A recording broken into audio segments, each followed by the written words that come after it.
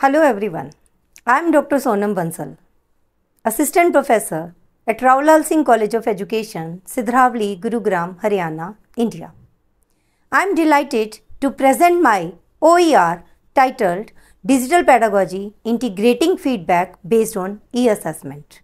This online course explores the intersection of digital pedagogy and e-assessment, providing educators with valuable insights and strategies for incorporating integrated feedback into their teaching practices.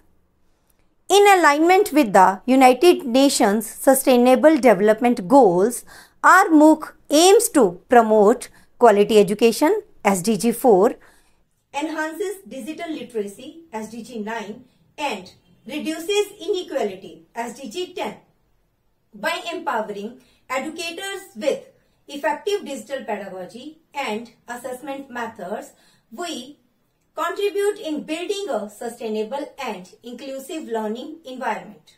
However, the role of ROER, specially designed for educators seeking to enhance their digital pedagogy skills and leverage the power of integrated feedback in e-assessment. The course explores the effective integration of technology, pedagogy and assessment practices to create engaging and impactful learning experiences. This course covers the major course objectives including general introduction of the course and to know each other. Understand the concept of digital pedagogy and its role in modern education. Learn about e-assessment tools and techniques and their application in digital pedagogy. Explore the benefits of providing feedback based on e-assessment. Understand how to integrate e-assessment feedback into digital pedagogy practices. Develop skills to create effective e-assessment feedback for students. The goal of the project is to enable learners to know, to understand and apply digital pedagogy skills related to e-assessment in learning for quality education at school, college and university level.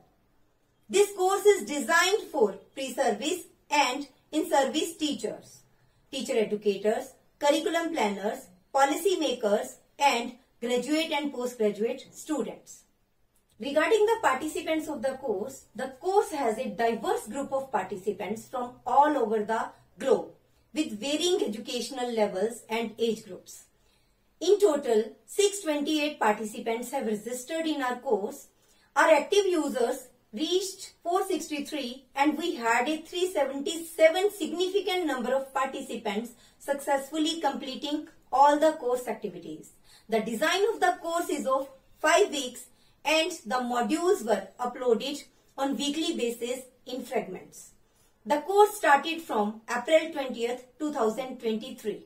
The course content includes understanding the basic concepts and their relationship, designing the role of digital pedagogy in peer and self-assessment, integrating e-assessment and feedback in teaching and learning, evaluating the effectiveness of e-assessment and feedback. The course including one pre-course survey, post-course survey and weekly quizzes. To facilitate um, engaging and active learning, various resources including PDFs, PowerPoint presentations and 26 self-created videos, various self-created images and reused images were provided. These materials aimed to enhance participants' understanding of digital pedagogy and assist them in implementing effective e-assessment feedback strategies. Different learning apps, word puzzles, Padlet activities, silent video analysis and interactive games were used to engage the participants. These activities fostered critical thinking, self-reflection and collaborative learning among the participants. Here are some of the glimpses of the course. Module 0 covers the general outline of the course, including foreword by Professor Dinesh Kumar, Vice Chancellor, Gurugram University, and the course introductory video, welcome address by course mentor and our college principal, Dr. Vandana Gandhi. Module 1 includes the basic concepts and their relationships including pedagogy, digital pedagogy, assessment, e-assessment and their relationships and differences including case studies and reflections.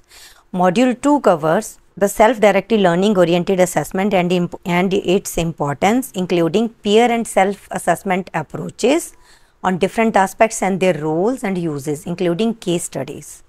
Module 3 covers the importance of feedback in e-assessment and the types of different feedbacks and designing of different types of feedback for e-assessment and what are the various ways to collect effective feedback from learners including their reflections and case studies. Module 4 covers the various methods of for evaluating the effectiveness of e-assessment and feedback, different open source tools examples like uh, rubrics, portfolios, Padlet, podcast and many more.